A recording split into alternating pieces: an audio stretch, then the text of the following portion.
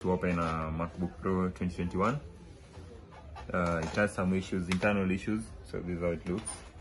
But uh, we're going to open the back plate, the back cover.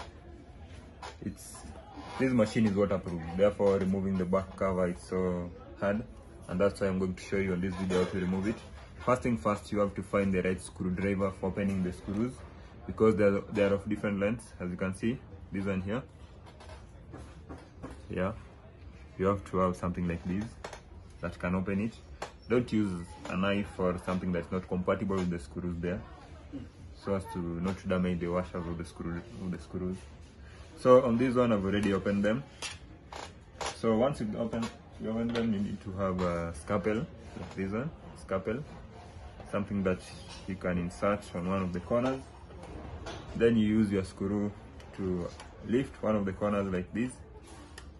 Yeah so once you've lifted them up you just hold on like this. Then you move your scalpel across it while opening it with the, your screwdriver. Just do the do the same thing across up to this side yeah? So as you open it once you create space use your hand to enlarge the opening as you can see here.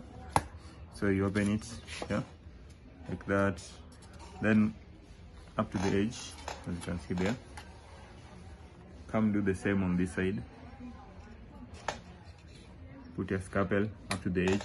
Then once you're done now you have to pull this back cover to the front so as to remove it. But you can use still your screwdriver to pull it in front. As you can see do here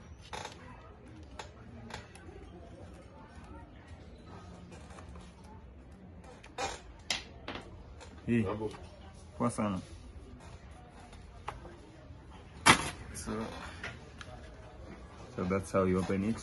Yeah, you can see we've managed to open it. This is how the inside looks.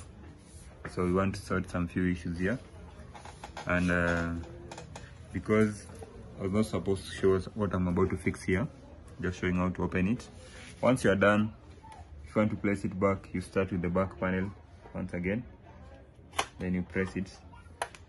You just hard press on it until you hear the clips. Then you return your screws back. So that's how you do it